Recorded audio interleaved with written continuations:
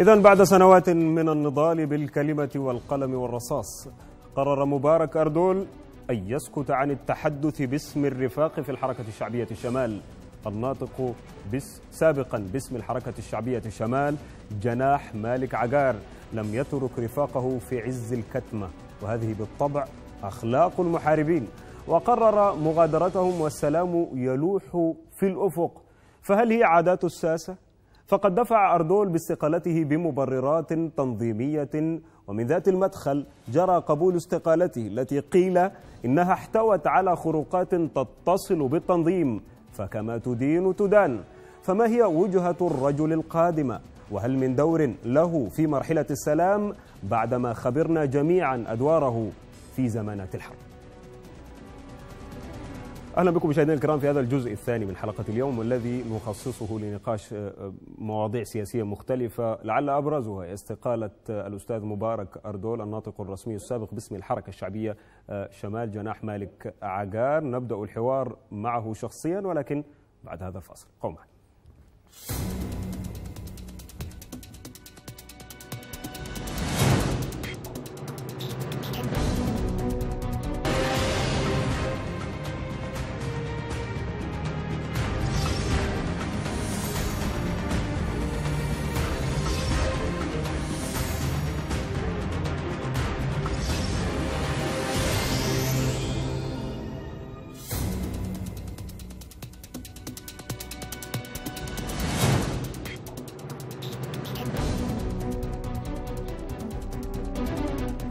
تحياتي أهلا ومرحبا بكم من جديد مشاهدينا الكرام في هذا الجزء الثاني من حلقة اليوم من دائرة الحدث والذي نناقش من خلاله عدد من الموضوع الموضوعات السياسية معيه ضيفنا الكريم الأستاذ مبارك أردول الناطق باسم الحركة الشعبية شمال.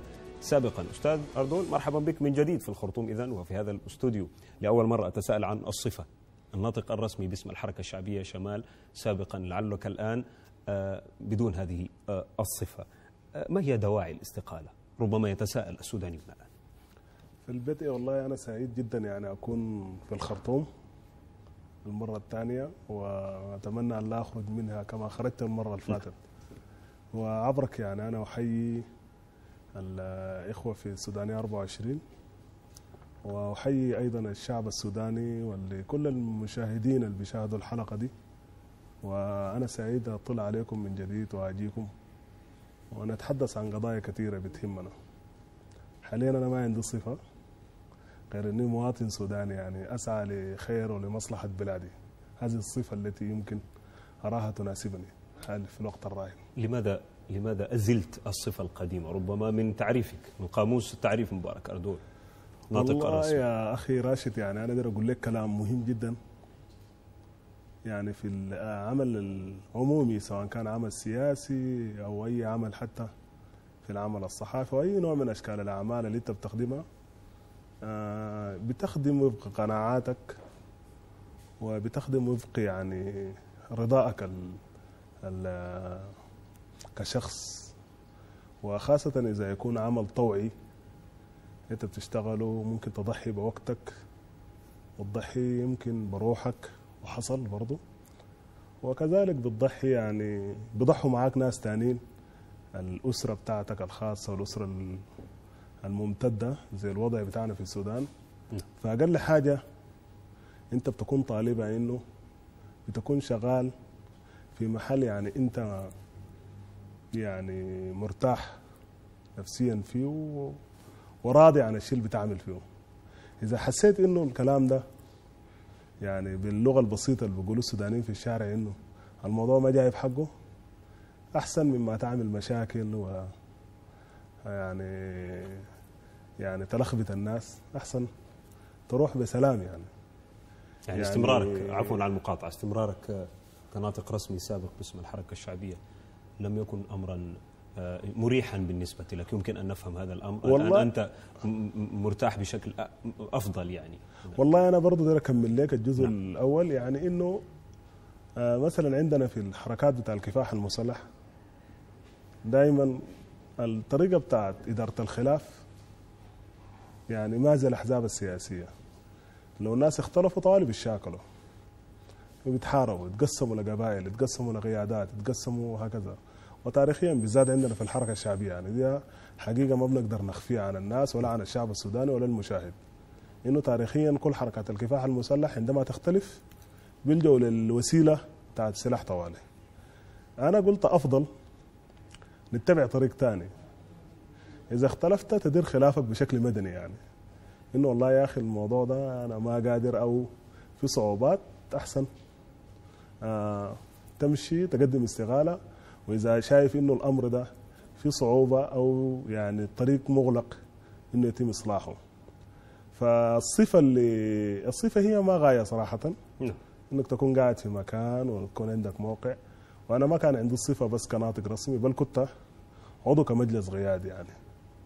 ولو كنت داير أقعد كناطق رسمي كده وبس أنطق وأتكلم وأسهر في الإعلام والميديا وكده ما ما كان يستدعي إنه أقدم استقاله لكن المهمة الرئيسية اللي كان أنا شايفها يعني واقع على رقبتي أو واقع على مسؤوليتي كشخص كعضو في المجلس القيادي ومعروف المؤسسات دي الهيئة بتاعت المجالس القيادية هي أعلى هيئات هي بتقرر في شؤون الحركة وبتقرر في شؤون التنظيمات السياسية. إذا أنا كنت قاعد عضو زي ما برضه السودانيين بقول لك يا أخي أنت مريس ومتيس برضه ما بتقبل يعني. فإما نكون قاعدين كرفاق وإخوة ونشارك في اتخاذ القرار ونمشي أمور الحركة كلنا مع بعض وإما نحاول نصلح الخلل وإما لو أنت شايف في صعوبة أحسن شنو؟ يعني تشوف حاجة تانية أو تتخلى عنها أو تتنحى يعني بصراحة. وده أنا على الأقل شايف إنه أفضل لي. إذا الأمر ها في صعوبة أفضل إنك تمشي يعني بدل ما تقعد وتكون قاعد كما يقال خمرة عكننه يعني ويمكن يتصرف تصرفك عمل هدام ولا كذا ولا كذا.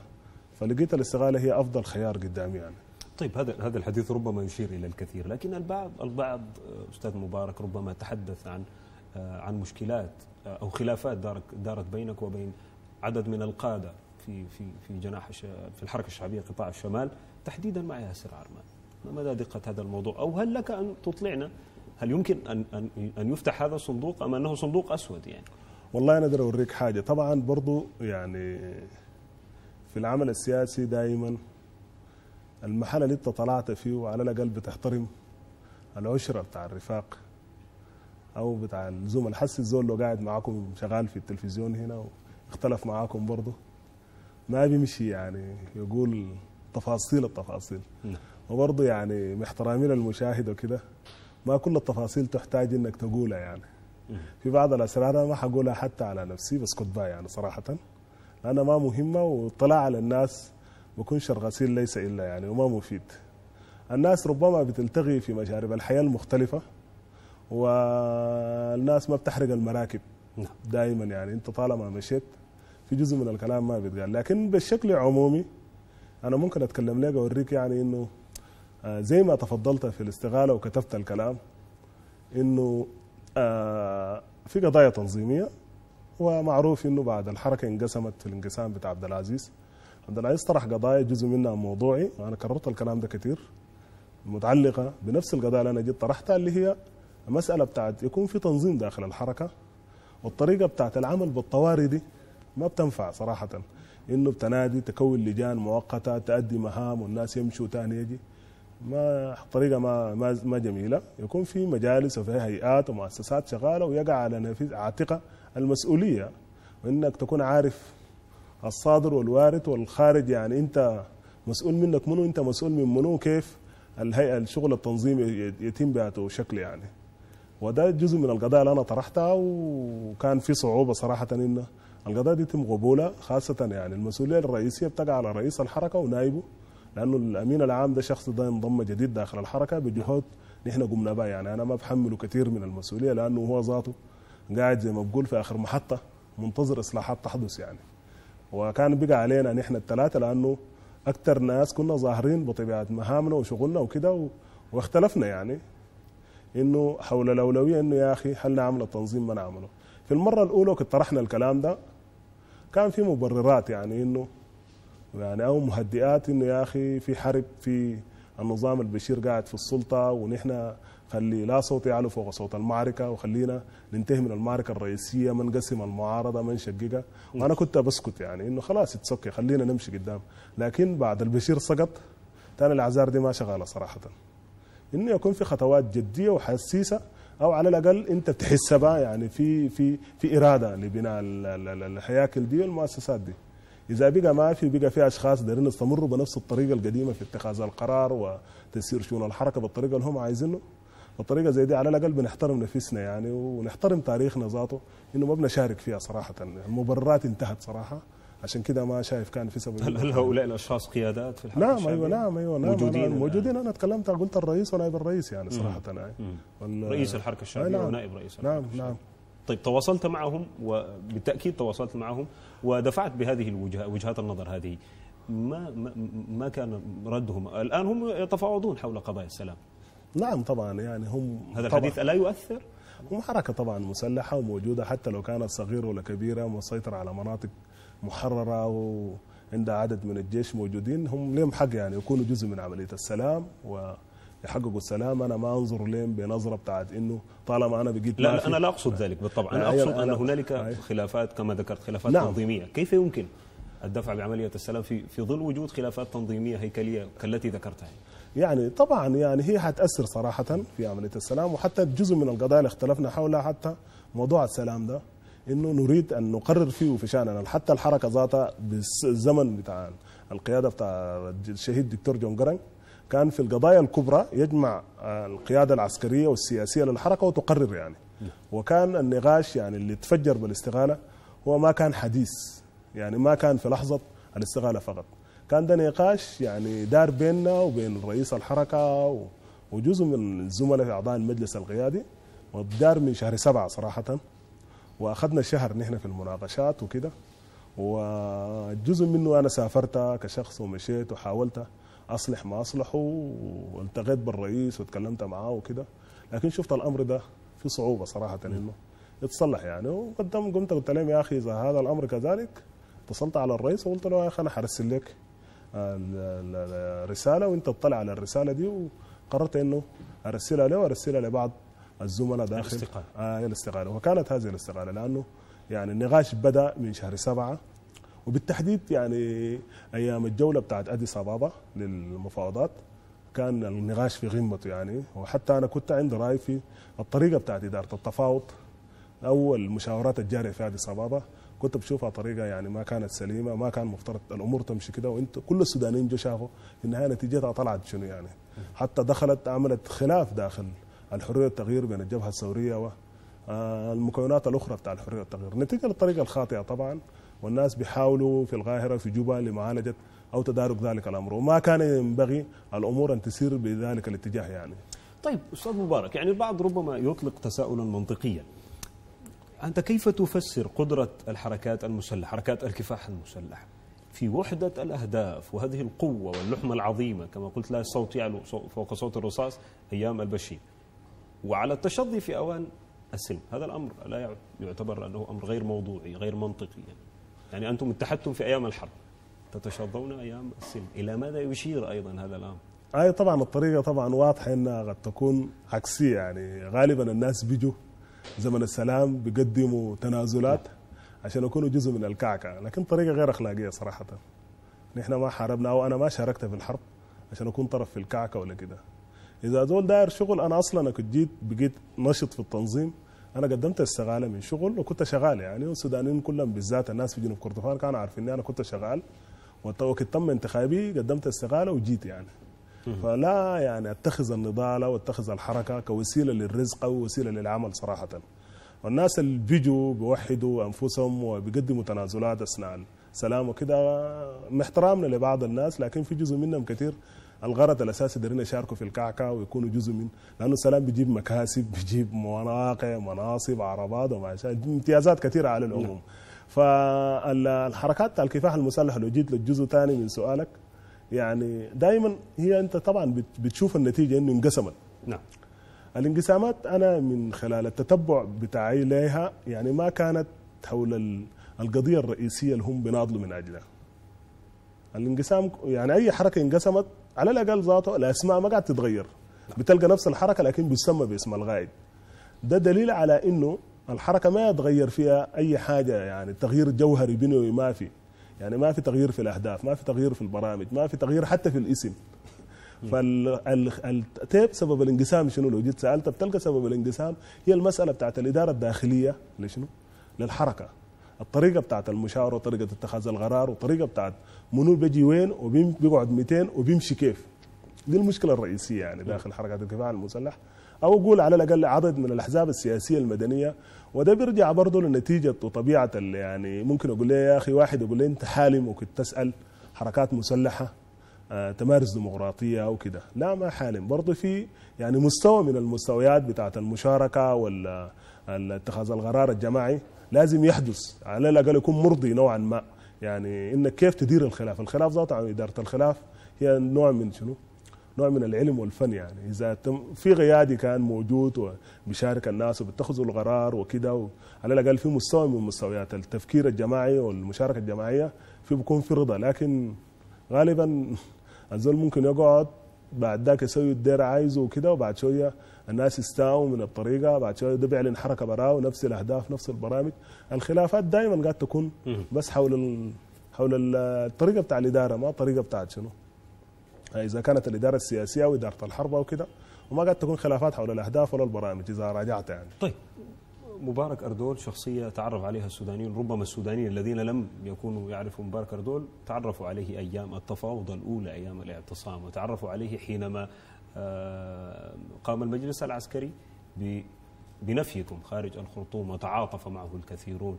وحتى تحدث عنك الكثير من السودانيين حديثا جيدا. الآن مبارك أردول يقف بموقف موقف مثالي ربما بالنسبة للكثيرين وهنالك استفهامات سنعود إليها بالنسبة لآخرين أيضا. طيب إذا طرح على مبارك أردول أي منصب تنفيذي كمستقل مستقبلا هل سيقبل؟ هل سيشارك في الكيكة؟ أم أن هنالك ضرورات ربما قد تجبرك على قبول أي حقيبة وزارية أي منصب تنفيذي أو دستوري؟ والله أنا أقدر أوريك حاجة صراحة. يعني قبل ما أرد للسؤال دار أول أشكر السودانيين كلهم عبر الشاشة السودانية 24 الناس اللي تعاطفوا معانا والناس اللي خاتين فينا الخير يعني. وبيفتكروا إنه يعني إحنا بنعمل في حاجة كويسة. وأتمنى إنه نحن ما نخذلهم صراحة. وما يعني يعني نكسفهم بتصرفاتنا. السياسيين ما تضمنونا كثير برضه يعني. ربما تكونوا مبسوطين مننا وربما بكرة برضه يعني زي ما بقول نقل أدبنا يعني باللغة البسيطة. فنتمنى إنه ما نقل أدبنا للسودانيين وبكرة يزعلوا مننا صراحة. وأنا أشكرهم يعني ويقفوا معنا ورسائل خاصة جاتنا واتصالات وكده. وحنظل سودانيين موجودين قاعدين معاهم. وأكثر حاجة يعني خلتني أنا يعني أقرر بعد بعد قدمت الاستقالة إنه أرجع ده جزء من التصرفات والعلاقات اللي بنيتها أيام الاعتصام مع السودانيين وحسيت إنه يعني أنا محتاج أرجع السودان. صراحة ما اقعد هناك وكده ونقاش دار بيني وبين زملاء وحتى أسرتي الخاصة إنه يا أخي أحسن أنا أرجع السودان وأشارك في البناء. زملاء في الحرية والتغيير؟ أيوه زملاء كتار يعني حرية والتغيير وحتى في حركات الكفاح المسلحة المختلفين. أنا ما زلت على تواصل يعني معاهم وكده. حتى جزء منهم قيادات مالك ذاته ما زلت على تواصل مع, مع القيادات العليا صراحة ده ما سر يعني. ما انت برضه كله زي ما بقولوا أهلنا كله شوكة بتسلها بدريبه يعني. عندك خلاف على قضايا تنظيمية بتحافظ عليه في المستوى ذاك ما بتدخل في القضايا الاجتماعية. وأتمنى إنه ده يكون نهج الناس كلهم. هل هل هي اتصالات بشكل شخصي أم اتصالات؟ اتصالات شخصية نعم. هل, هل تتوقع أن يعجب هذا الأمر عقار أو نائب؟ والله أنا لا أسعى لارضائهم صراحة. أنا أسعى إنه أكثر حاجة أكون يعني مبدئي تجاه التعامل مع كل شخص يعني. أما بمسألة السؤال حول إنه منصب تنفيذي وزير وكده أنا أكثر حاجة داير إنه الناس ما يربطوا الجيه بتاعتي دي بإنه في وعود ولا داير اشارك في منصب تنفيذي وكده. أنا قبل كده عملت حوارات وكلمته امبارح في المؤتمر الصحفي. صراحة أنا ما عندي نية أشارك في مستوى تنفيذي أو مستوى تشريعي. أي حتة أنا بقدر أقدم فيها للسودان أنا مستعد لأنه حتى ذات السلطة دي بتجيب مشاكل. بالذات السلطة السلطة دي قدر شنو حسي في السودان ده؟ ما حسي يعني إحنا ممكن نشارك لو نبني السودان من ناحية ان ما ما بتكون وزير وما حتكون شنو؟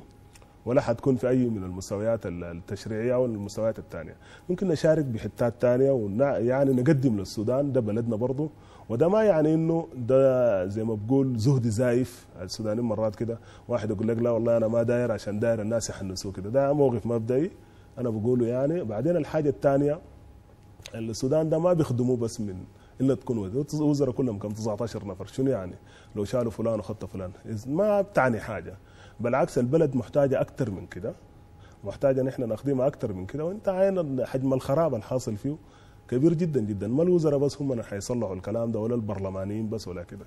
بعدين السلطة دي يعني حسي حاليا هي ما الغاية النهائية. البلد فيها حرب. البلد فيها تفكك للنسيج الاجتماعي. البلد فيها ديمقراطية ما موجودة فيها ولا مؤسسات ديمقراطية ولا ولا ثقافة ولا يعني موجودة عند بعض الناس. فالكلام ده كله داير بناء حقيقي يعني بشكل حقيقي ونكون قاعدين وجزء منه وبنراقبه. وإنت حتى لو افتكرنا أنا ابن مزارعين إذا الزرع بتاعك ده إنت ما بقيت تجي وقاعد جنبه وبتراقبه وكده وبتشرف عليه العدار حياكله. فالناس الكتار ضد الثورة دي كتار قاعدين هنا. أحسن نحن نكونوا قاعدين ونراقب ونشتغل جنبهم ونكون متحركين معاهم وفي كل أنشطتهم وبرامجهم وكده لحد ما نقدر نحقق السلام بشكل حقيقي داخل السودان. ويكون سلام يعني ماشي في الشارع ونحن حاسين بها ولحد ما نجيب الديمقراطية بشكل حقيقي يعني لكل السودانيين. فدي أكثر حاجة نحن ممكن نخدم بها السودانيين هنا. وبعدين البلد ماشية لديمقراطية. الشايف نفسه ممكن داير لموقع ولا منصب ولا وزير ولا برلماني ولا كده بعد ثلاث سنوات في انتخابات ممكن يخدم للسودانيين هنا والسودانيين لو بقى خيارهم خليه يجيبوه.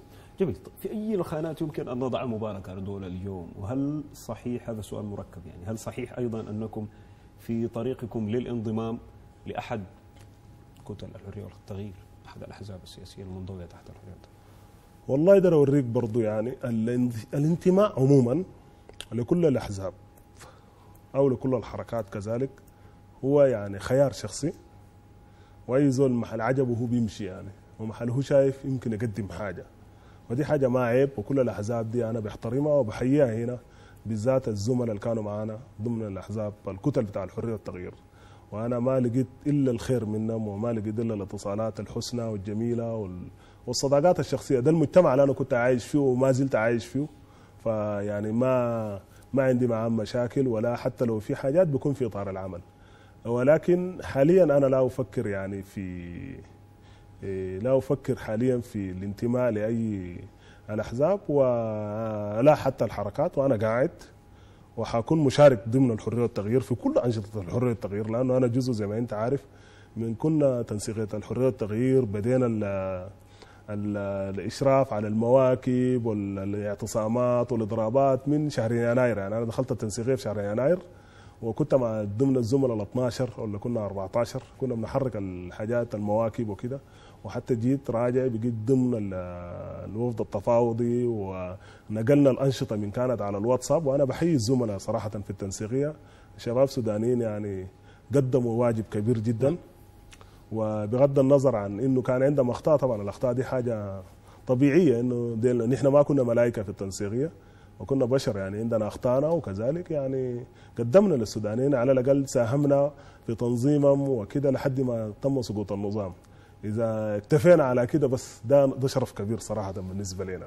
طيب على ذكر على ذكر الواتساب يعني. هنالك بعض الشكاوي من اتخاذك لمنصات التواصل الاجتماعي للتعبير عن آراء شخصية للعامة. هنالك بعض الشكاوي من من رفاقك السابقين يعني. آه يعني ربما في في ذلك الوقت كنت ناطقا رسميا باسم الحركة الشعبية قطاع آه الشمال. هذا سلوك السودانيين لم يتعودوا عليه من الحركات حركات الكفاح المسلح. لم يكن هذا السلوك بهذا هذه الكيفية ربما. هل كانت مؤشرات لاستقالة محتملة توقعها الكثيرون؟ والله ده اوريك برضه الكلام ده سؤال مهم لأنه ورد حتى في الخطاب بتاع مالك الرئيس الحركة مالك عقار أشار للكلام ده. وأنا عارف الأسباب. صراحة حتى البوستات اللي أنا كتبتها أنا عارفها. هي كانت عن ماذا؟ السودانيين محتاجين يعرفوا إنه دي دي شنو أنا كنت ارائي الشخصية اللي كنت بنشرها داخل في صفحتي في الفيسبوك. دي كانت يعني اللحظة الأولى بتاع التوقيع على الأحرف الأولى عن الاتفاق بتاع الحرية والتغيير مع المجلس العسكري. أنا رحبت بالاتفاق. والحركة كان دايرة نتخذ موقف غير كده. أنا كنت لا بفتكر لا. وأنا ما كان إنه أسوي الكلام ده إلا لأنه أنا شفت إنه الخط اللي نحن لو مشينا ضد الاتفاق ده خطر على البلد صراحة. ماذا كانت تريد الحركة والله كانت عندها بعض الملاحظات وأنا كنت بفتكر إنه بعض ضد الملاحظات. الاتفاق يعني أو ضد التوقيع. يعني ما ممكن أقول لك ضدها كده لكن كانوا عندهم بيفتكروا إنه؟ ناقص وما نرحب وما نستعجل ونكون عندنا بعض المواقف وكده. والكلام ده ما كويس. وخلينا أنا بقول لهم it's OK إذا كان الكلام ده ما كويس خلينا نعالجه داخل. ان إحنا جزء من الحرية والتغيير. خلينا نعالجه داخل الحرية والتغيير. نظهر للشعب السوداني. السودانيين كلهم كانوا يحتفلوا بالاتفاق. وأنا ذاتي من ضمن الناس ما أخفي أنا كنت محتفل بالاتفاق ده لأنه أنا بفتكر إنه على الأقل الاتفاق ده اللي حيعمله حي- حيحقن الدماء لأنه الوضع كان في tension صراحة. وأنا شفته هنا في الخرطوم. في tension وفي فض الاعتصام حصل للناس والناس كان يعني. الوضع محتقن. وبعدين البلد ما كان معروفة ماشية لوين. فإذا في يعني بصيص بتاع أمل إنك تتمسك به وتتمسك به وتكبره والكلام ده حسي طلع صح يعني. تأييدنا للاتفاق كان صحيح وسليم. في النهاية أي ناس كانوا ضد الاتفاق ده الموقف بتاعهم بقى ما صح. يعني ربما لكن أنت تم ترحيلك إلى جوبا البعض توقع منك ال- والله طبعا. آخر يعني. يا ما مشكلة. أنا ما باخذ. كشخص. أنا رحلوني مبارك كشخص. لكن أنا ما بربط حاجاتي الشخصية بمصلحة السودانيين كلهم، السودانيين ديل ما مبارك بس ولا حتى المجموعة الراكبه في الطيارة ولا حتى المجموعة اللي رحلتنا ولا حتى المجموعة اللي اعتقلتنا، السودانيين ديل كتار وموجودين في كل العالم، ليهم الحق يتمتعوا بوطن فيه سلام وليهم الحق يتمتعوا بوطن فيه ديمقراطية، الاتفاق ده أنا كنت بنظر إنه اتفاق حيضعنا هيضع العجلة بتاعت التحول الديمقراطي والعجلة بتاعت تحقيق السلام في بداية الطريق وكانت صحيحة يعني. ده واحد فكان ده ده النقطه اللي اشار لها ال- ال- ال- ال- الأستاذ مالك في خطابه إنه يا أخي أنت بتعبر عن آراء. وبالناحية التنظيميه إذا مثلا ان إحنا مختلفين داخل الحركة. نعم. فرضنا جدلا. حول الموقف من الاتفاق. الطريقة السليمة اللي بيحصل شنو؟ إنه الناس مفترض تجتمع ويحصل نقاش حول إنه الناس المؤيدين للاتفاق يقولوا رأيهم والناس المعارضين للاتفاق يقولوا رأيهم. بعد ذاك المسألة تتحسم بطريقة شنو؟ ديمقراطية. وده اللي أنا كنت طالبت به وكان رفضه. فانا اضطريت أعمل شنو؟ أنا الموقف اللي هم دايرين أنا أعبر به ما كنت متفق معه. طلبت باجتماع رفضه. أنا ما لن ألزم. رفضوا الاجتماع. رفض الاجتماع يعني رفضوا الاجتماع صراحة. وقد رفض الاجتماع أنا لن ألزم إذا رفض مني إقامة اجتماع في قضية كبيرة تع- يعني تتعلق بالسودان أنا لا لا لا أجامل في الأمر ده. أنا ما انضميت للحركة كدين ولا انضميت لها كطريقة آه، دينية طائفية. ده تنظيم سياسي ودي ما غاية صراحة. الغاية إنه التنظيم السياسي مفترض يخدم شنو؟ القناعات اللي أنا يعني ملتزم بها. إذا شفت. في تعارض طوالي آه، مصلحة بلدي فوق كل حاجة. طيب كيف تنظر الآن لفرص العملية السلمية الجارية؟ تم التوقيع في جوبا كما تعلم على اتفاق إطاري بين عدد من الحركات المسلحة وبين الحكومة الحالية بشقيها التنفيذي أو مجلس الوزراء والسيادي أيضا. آه، هنالك حديث عن حديث متفائل عن عن اقتراب عن اقتراب السلام. لكن ربما من يستمع إلى حديث مبارك أردول الآن يشفق على هذا السلام. ما رأيك؟ والله أنا ما أقدر أرسل رسائل بتاع تشاؤم. صراحة الأمر إنه يكون في نية للناس آه، يحققوا السلام أو يتوسطوا من أجل تحقيق السلام. ده جهد مفترض نرحب به كلنا. مبدئيا أي جهة دايرة تحقق إنهاء الحرب في السودان تنهي الحرب بتاعتنا وتقوم تخلينا طبعا إنهاء الحرب خطوة وتحقيق السلام خطوة ثانية. تنهي الحرب وعشان نحن كسودانيين نحقق السلام دي خطوة أنا برحب بها صراحة. وخاصة عبر السودانيه 24 أنا بشكر حكومة الجنوب وكل الشركاء الإقليميين يعني في الإقليم الموجودين سواء كانوا شركاء من الدول الإفريقية والدول العربية أنا بشكرهم كلهم. للجهود اللي بقوموا بها عشان ينهوا الحرب في السودان وتحقيق السلام.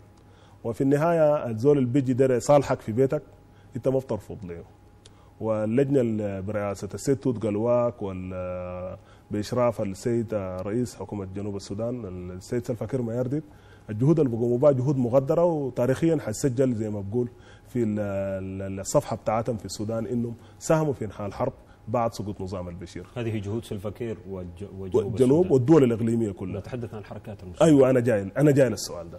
نعم. الإجابة. أنا فيما يخص التحقيق السلام الطريقة أول يعني محتاجة مراجعة صراحة. يعني المفاوضات المباشرة دائما بين ال- الطرفين زي يعني الطرفات طرف الحكومة ويكون في طرف حركات الكفاح المسلح. الاثنين كده يكونوا قاعدين. الطريقة دي تجربت في السودان كثير. جربت في أديس أبابا في بعد آه، انقلاب بتاع نيميري بين جوزيف لاغو كرئيس للأنيانيا وأبيلالير كان رئيس وفد الحكومة. حصل مفاوضات وجابوا سلام وكل السودانيين احتفلوا. الجيل ده طبعا لا الجيل بتاعي أنا ولا الجيل بتاعك لكن ده الجيل بتاع السودانيين الآخرين الموجودين وجزء منهم بيشاهدوا لكن بعد عشر سنوات رجعت الحرب ثاني في 72 في ال 83 رجعت الحرب بقيادة الدكتور جون جرن في جنوب السودان. معناته ما حلت شنو؟ جذور المشكلة ما حلت جذور المشكلة. الثانية جاء جون جرن جاء بعد 2005 يعني بعد 22 سنة جاء برضه واقع اتفاق سلام في نيفاشا كطرف والحكومة بتاعت الإنغاث وقعت. برضه جاء في 2011 نحن رجعنا الحرب بقيادة مالك عقار وعبد العزيز الهيلو السؤال, السؤال اللي بيطرح نفسه هنا برضه الطريقة دي ما حلت شنو؟ المشكلة. في 2007 آه، حركة تحرير السودان مشت وقعت اتفاق سلام في أبوجا. وعبر مني جا بقى مساعد رئيس الجمهورية. وتاني لكن رجع الحرب في 2010 ولا 2011 دي كلها بتسجل شنو؟ بالنسبة لنا في الصفحة بتاعتنا في تحقيق السلام في السودان. يكبر انه المفاوضات المباشرة اللي قاعدة تتم بشكل ثنائي من حركة الكفاح المسلح من جهة والحكومة من جهة أي حكومة كانت ما حققت شنو؟ سلام في أرض الواقع سلام فعلي. فالطريقة يعني دي كأنك, كأنك ت- تريد أن تقول أنها ليست الحكومات فقط هي من كانت آه حتى الطريقة. ذاتها حتى الطريقة. حتى الحركات حتى الطريقة تتحمل. حتى الطريقة في أساسها ما ما حققت يعني. تاريخيا دي ما حققت. طريقة ماذا؟ الطريقة بتاعت المفاوضات. إنه تجيب طرف الحكومة بجا وطرف حركات الكفاح المسلح بالاتجاه الثاني. وتيفر كانت يعطوا حركة. إذا كان حركة شعبية أو حركة نيانيا أو حركة تحرير السودان مني. وحتى ذاته في أبوجا قبل كده حصل الكلام ده. بين ايمين في الدوحة اتفاقية الدوحة. بين تجاني السيسي والحكومة السودانية. برضه في النهاية الحرب كانت مستمرة في دارفور. يبقى طيب الطريقة الجديدة شنو المفترض نحن نتبعها؟ أنا بفتكر إنه الطريقة الجديدة دي بتكون طريقة مثلى أول الحرب يا الأستاذ را- راشد يعني الحرب دي ما عندها طرفين فقط. عشان نجي نعرف الحرب ذاتها في طرفين اللي بيحاربوا الحكومة والمعارضة المسلحة وفي المواطن اللي بتدور الحرب في منطقته اللي بسبب الحرب ده هو بينزح. في معسكرات النازحين واللاجئ وبينزح في معسكرات برا بلده معسكرات اللاجئين. دي الطرف برضه عملية السلام ما قاعد تشمل الجماعة دي إذا أنت الحرب بتدور في قريتك وفي منطقتك وكده يبقى إذا من حقك أنت كمواطن تحدد مستقبل السلام مفترض يكون كيف وأنت داير تكون كيف. يعني ما في زول فوض حركة تحارب نيابة عنه في قضايا. نمرة اثنين ما في زول فوض حكومة تدافع أو تحارب الحركة دي نيابة عنه. فيبقى إنه المواطن ده عنده صوت لازم يصل في مسألة تحقيق السلام. ثاني في حاجة على أي آه، آه، عملية تحقيق سلام بعزل القوى السياسية ما بينجح صراحة. والقوى السياسية ممكن يعني ما دي سياسة في النهاية ممكن الاتفاق ده لو شافت أدت حركات الكفاح المسلح أكثر منها ممكن تعمل شنو؟ تشتغل ضده بكل صراحة وبكل وضوح يعني نحن نقول عبر القناه دي. فنحن نقفل هذه الثغرة. القوى السياسية لازم برضه تشارك في صراحة وبرضه هي بتتضرر يعني من عملية الحرب يعني. إذا حتى القوى السياسية دي حتى لو كانت قاعدة على مستوى الخرطوم هي بتتضرر من الحرب صراحة؟ اي مواطن سوداني لافي في الخرطوم وقاعد في العواصم وقاعد في القرى وقاعد في المدن الثانية قاعد يتضرر من الحرب. حتى اللي قاعدين خارج السودان السودانيين بيتضرروا من الحرب على الأقل ما بيقدروا يزوروا مناطقهم أنا حسي هنا ما بقدر أمشي القريه بتاعتي لأنه في حرب. أنا ما تابع لأي حركة وما جزء من الحكومة لكن ما بقدر أمشي القريه بتاعتي. وده ناس بيحاربوا في منطقتي أنا. فطيب ليه عملية السلام؟ أنا ما بكون عندي شنو؟ في وراي. السلام ده بيعنيني أنا. الحرب إذا كانت بتعنيني أنا وأنا بتضرر منها إذا في المزرعة أو ما بقدر أمشي القرية أو بيزرعوا الغام في مناطقنا أو في دانات بتقع في قصف جوي بيحصل يبقى إذا أنا عندي حق أتحدث إنه لا السلام ده وكدر يتحقق يتحقق بطريقه أنا أكون رايي فيه شنو. بعد ذاك في المجتمع المدني كذلك الموجود في مناطق الحرب. ما أنت بشوف المجتمع المدني يعني في مناطق الحرب يعني بي- بي- بيكتبوا تقارير عن انتهاكات حقوق الإنسان والاستخدام بتاع المدنيين في الحرب واستخدام الأطفال وما شابه ذلك والانتهاكات ضد النساء وكده. وده كله. دي برضه أطراف مهمة. هل تعتقد أن هنالك دول تسعى لألا تتوقف الحرب في السودان؟ دول إقليمية الآن موجودة؟ الآن. والله لربما الناس دي الموجودين لكن نحن كده نخط المسألة في رقبتنا أول كسودانيين. نحن عملنا شنو كسودانيين؟ عشان نحن نوقف الحرب. فأنا بفتكر إنه الطريقة الجديدة دي مفترض تجي الأطراف دي كلها تكون موجودة في القاعة بتاع تحقيق السلام وأنا بدعو بصراحة إنه يكون في مؤتمر للسلام يشاركوا فيه الحكومة من جانب والحركات الكفاح المسلح من جانب ثاني المجتمع المدني السوداني يشارك فيه الأحزاب السياسية تشارك فيه المواطنين الموجودين في مناطق الحرب المواطنين الموجودين في مناطق الحرب سواء كانوا نازحين أو لاجئين أو مواطنين مستقرين في مناطق الحرب يشاركوا. القضايا المرفوعة وزي ما قبل قلت لك القضايا المرفوعة كلها في مسألة ال ال ال كانت سبب لاندلاع الحرب هي ما قضايا شخصية ما بتعني الحركات بس. ولا حتى وكده يختلفوا ما قاعدين يختلفوا حول القضايا دي بيختلفوا حول إجراءاتهم التنظيمية الحركات المسلحة دي. نعم. فيكبي إنه القضايا دي يجي يخطوها شكل العلاقة بين المركز والإقليم مثلا. الاغاليم بتاعت الحرب دي سواء كان جبال النوبة والنيل الأزرق أو دارفور أو حتى شرق السودان. شكل العلاقة بينه وبينه ده ما بتحدده حركات الكفاح المسلح والحكومة. المواطن القاعد ده برضه عنده رأي. القوى السياسية عندها رأي الأحزاب ال- السياسية عندها رأي والمجتمع المدني عنده رأي برضه يحددوا فيه مثلا تقسيم ال- الثروة الموارد إدارة الأغاليم النازحين واللاجئين ده كله لازم ديل برضه يشاركوا يقولوا فيه ممكن يجي في حاجة واحدة ممكن تكون خاصة بالكفاح المسلح مثلا مسألة الترتيبات الأمنية هي والمجتمع المدني والأحزاب السياسية لأنه ال- القطاع الأمني ده إذا حصل فيه أي نقاش مفترض يشاركوا فيه شنو؟ كل السودانيين حول مستقبل القطاع الأمني في السودان إنه يحصل فيه شنو؟ المسألة اللي ممكن تجيب خلاف أنا متوقعها دي المسألة بتاعت تقسيم السلطة وطبعا يعني الحرب اللي بتنتهي لتقاسم السلطة دي يعني صراحة حرب يعني يعني بتكون ما شريفة صراحة. الحرب مفترض تنتهي يعني ما يعني إنه السلطة ما واحدة من القضايا واحدة من القضايا لكن ما كل القضايا. هي جزء من القضايا وليست كل القضايا. فلذلك المسألة بتاعت تقاسم السلطة ممكن نشوف فيها حلول. الحركات بتاع الكفاح المسلح دي وزنها ما واحد حجمها ما واحد مؤيدينها ما واحد ولا حتى جيوشها ما واحد وكذا. فكل السودانيين عارفين مثلا الليلة لو قلت لهم يا أخي أكبر حركة موجودة في السودان دي تبقى الروب ومثلا الأحزاب الحركات الثانية ما هي أكبر حركة؟ مثلا عبد العزيز الحلو وسيطر على أكبر مناطق في شنو؟ في السودان. يعني موسى قاعد موجود وكده وعنده جيش وعنده مناطق ممكن تمتد من غرب أبو جبيهه لحد آه، شرق لقاوة مثلا. دي منطقة كبيرة جدا. ما في سوداني ما بيقدر شنو؟ وما بيقدر ما ما قادر عارف الكلام ده. ممكن يجي ياخذ على حسب إذا الناس معترفين بهذا الأمر ياخذ مثلا نسبة كبيرة في تقاسم السلطة مثلا ومثلا وهكذا الآخرين. وفي حاجة تانية يعني في جوبا أنا كنت اعترضت على مسألة الجبهة الثوريه في الميثاق بتاع الواقعاته مع المجلس السيادي. جا قالوا يا أخي في الفقرة دال أربعة أذكر في الميثاق قالوا إنه آه، الأطراف المشاركة في عملية السلام هي الجبهة الثورية الحركة الشعبية عبد العزيز الحلو الحركة التحرير السودان عبد الواحد وفي حركة اسمها تجمع قوى التحرير بتاع طاهر حجر وقالوا أي طرف آخر تحددوا الأطراف الأساسية. هي دي فيها سونية صراحة. الحرب دي شاركوا شاركوا فيها حركات كثيرة وفي حركات كثيرة قاعدة. أنا أنت زي ما عارف أنا جاي من الحقل ذاك. أنا بعرف ناس كتار ما تابعين للجبهه الثورية ما تابعين لعبد العزيز ما تابعين لعبد الواحد قاعدين عندهم سلاحهم قاعدين.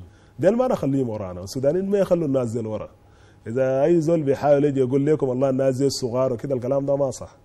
الزول الصغير حيكبر. جون قرنق ده ذاته في 72 كان صغير في 83 كبر نحن تاني ما دايرين التجربة دي تتكرر. إنه أي زول قاعد يجي يخش القاعه بتاع تحقيق السلام ده ما يكون حكر لزول. الحرب والسلام ما بحددوا نفر ولا نفرين ولا تنظيم ولا تحالف بتاع الجبهة الثوريه ماذا. عن علاقاتك مع مع ياسر عرمان؟ والله الآن. ما عندي اتصال صراحة معه حتى الآن وما في حاجة بتجمعنا يعني أكثر الحاجات اللي كانت بتجمعنا العلاقات التنظيمية لكن حاليا من الاستغالة ما في اتصال بينه وبينه وأي زول قاعد في محله يعني طيب آه، كثيرون يعتقدوا بأن مبارك اردول الأستاذ مبارك اردول حينما أتى للخرطوم وخلع البزة العسكرية وارتدى الزي المدني الأنيق ومارس السياسة استطاع أن يصل لأهدافه بشكل أسرع. كثيرون يعتقدون أن هذه الثورة لولا سلمية هذه الثورة لما تمكنت أن تصل إلى ما وصلت إليه الآن. سؤالي لك عن المستقبل. كيف يقرأ مبارك أردول مستقبل مستقبله السياسي؟ وكيف تقرأ مستقبل حركات الكفاح المسلح بالتحديد تلك الحركة التي أتيت منها؟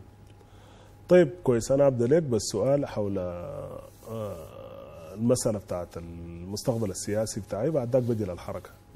صراحة يعني آه، آه، أنا بطبيعتي ما عسكري صراحة العسكرية دي يعني فرضت لنا فرض كواحدة من من المطلوبات في الحركة الشعبية انت وكنت تجي أنا كنت طالب جاي من قطاع الطلبة وانضميت للحركة في 2003 صراحة قبل تحقيق السلام يمكن بسنتين التقينا بالدكتور جون قرنق في المنطقة اللي منطقتنا يعني في جبال النوبة وقعدنا معه وجلسنا مع عبد العزيز الحلو ومع إسماعيل جلاب. ده 2003 كنا مجموعة من الطلبة بنتبع للتنظيم الطلابي هنا للحركة اسمه الجبهة الوطنية الأفريقية. بتبنى نفس شعارات الحركة. فمشينا والتقينا بجون جرانج بعد ذاك أعلنا انضمامنا بشكل رسمي للحركة الشعبية لتحرير السودان. بعد ذاك آه، واصلت ولقينا إنه شرط إنك تخش المركز وتتدرب وتقبع عسكري وكده. على الأقل تدافع عن نفسك. طبعا ما بتقدر تغير القصة دي وأنت جديد يعني. وإن كان أنا عندي رأي صراحة في العمل العسكري كشخص يعني من ما طبيعتي أنا ما بلقى روحي في العمل العسكري وأشتغل. ده ما المهنة اللي ربنا خلقني لها صراحة. فكنت بميل دائما في شغلي للجانب شنو؟ الجوانب المدنية حتى في الجيش. يعني بميل للجوانب المدنية حتى في الجيش. فعشان كده وكنت أجي في المحل السياسي بلقى نفسي يعني المحل اللي أنا برتاح له وبلقى نفسي المحل اللي أنا بشتغل فيه أو ده الحتة اللي أنا متخصص فيها أو يعني يعني على الأقل بقدر بقدم فيها أكثر نعم. ففيما يخص ال- المستقبل صراحة ما في شيء مخيف حسي حاليا. وفي السودان السودان بتشكل حاليا. نحن خلينا ال- ال- والسودان داير بناء. المواطن حسي ما داير سياسة كثير المواطن في السودان عنده قضايا راهنة قاعدة في الترابيزة حول الأكل والشراب والأمن والاقتصاد والوقود وكذا وكذا. المواطن ما بيأكل مننا شعارات سياسية. نعم. خلينا نخدمه في دي أول. نوفر له الغايمة الطويلة بتاعت شنو؟ حاجاته دي حاجات المواطن دي وبالطريقة المباشرة وبطريقة غير مباشرة بعبر التنبيه الحكومة وتو يعني كتابة وتوجيهها وكذا وكذا وكذا. بعد ذاك وقت نجي مسألة إنه نمارس سياسة بشكل مفتوح نعم. ويكون عندنا منظمات كده بجايب أنا صراحة يعني التجربة بتاعت الرئيس الفرنسي ماكرون أنا ملهم بها شديد صراحة هو طلع من ال- ال- ال- الحزب الشيوعي على ما أعتقد الجن- أو الجناح اليساري عموما عشان نكون دقيقين ومشى عمل حركة يسمى إلى الأمام عمل حركة ما تم سنتين وصل لشنو؟ وصل لرئاسة الجمهورية. التجربة ملهمة أنا مش قادر أطبق كوبي ولا كده ولا عندي مثلا كلام زي ده لكن بيفتكر إنه على الأقل يعني هو يعني ما يتغيد بشنو؟ بال نعم. الشخصيات الكبار وكده وكان عنده يعني ال- الطريق قدامه وما حتى حتى إذا كان ما عارف الطريق قدام فاتح صراحة أنا شايف الطريق قدامنا فاتح أول خلينا نجهز الملعب في السودان حول الديمقراطية حول مشاركة الناس حول حول دولة القانون صراحة والدولة بيحترموا الدولة ما يحصل فيها انقلاب القطاع الأمني شغال شغله المواطن يعني عايش عيشته بأمن وسلام نعم. زول بيتحرك أي حتة وبعد ذاك. أما المستقبل بتاع ال- الحركة بتاعتنا وده رسالة يعني مش لهم هم بس وحتى للناس التانيين. حركات الكفاح المسلح هي دايرة جراحة عميقة في مسألة التحول صراحة. نعم. أشكرك جزيلا نعم. شكرا الأستاذ مبارك أردول الناطق باسم الحركة الشعبية قطاع الشمال. سابقا. سابقاً جزيلاً. أهم حاجة. نعم سابقا. شكرا جزيلا. سعدت جدا باستضافتك اليوم آه، في هذا الجزء الثاني من حلقة اليوم من دائرة الحدث. آه، شكرا جزيلا لك. مع التمنيات كل التمنيات لك بالتوفيق. شكرا جزيلا لك. شكرا جزيلا. شكرا شكرا جزيلا. بعد الفاصل ملفنا الثالث والأخير الوثيقة الدستورية الخفي والمعلن. قوم معنا.